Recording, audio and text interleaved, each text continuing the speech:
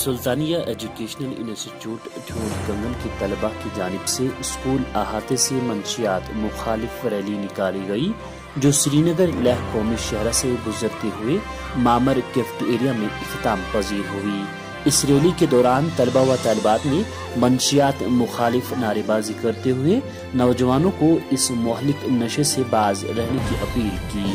Rally میں شامل طلبہ نے اپنے ہاتھوں میں بینر اٹھائے رکھے تھے، جن پر نشے مخالف پیغامات درج کیے گئے تھے۔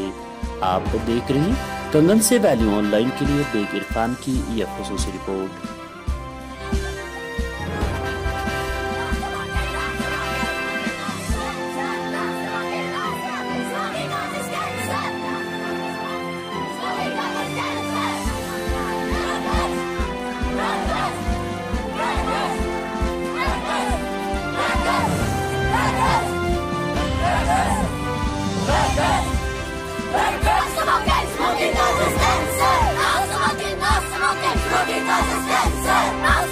Nosso momento.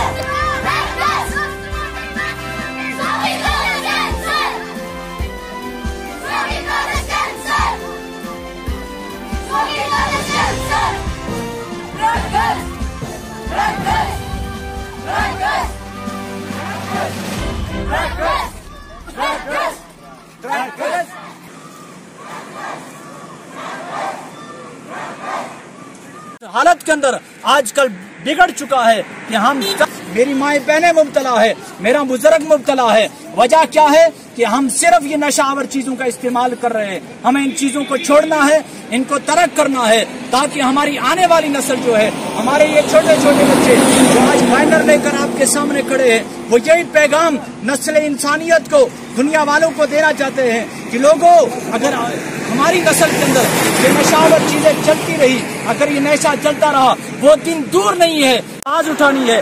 کہ یہ جو چیزیں ہیں، ان کو ترک کرنا ہے۔ آج کل کے دور کے اندر دیکھو، کیسے کیسے نشے لوگوں نے اختیار کر رکھے ہیں۔ آدھے نوجوان میرے آسے بھی ہیں کہ جو اس جوتے کی پالش کو استعمال کر کے اپنا نشہ پورا کر رہے ہیں۔ چند لوگ ایسے ہیں کہ جو دن بھر اپنے پاؤں میں موزہ پہنے رکھتے ہیں، رات کو اس کا پانی نچوڑ کر پیتے رہتے ہیں۔ ہماری نوجوان لڑکیاں اس بیماری کے I am Mohammed Salim from class 4th standard Today we are here to convey the message to present generation. Say no for drugs. From class 6th of Sultana School and today we are going to attend anti-drugs conduction and we want to and we want to give mes- convey message to the present generation how drugs can affect our lives. First of all, we should have to know what what is drugs. A drug is a substance that changes an organism physiology when consumed. Drugs are typically distinguished from the food and substances that provide nutritional support.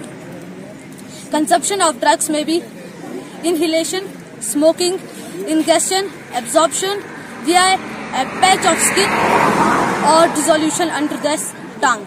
Today we conduct the rally to convey the message for the present generation about the harmful effects of drugs.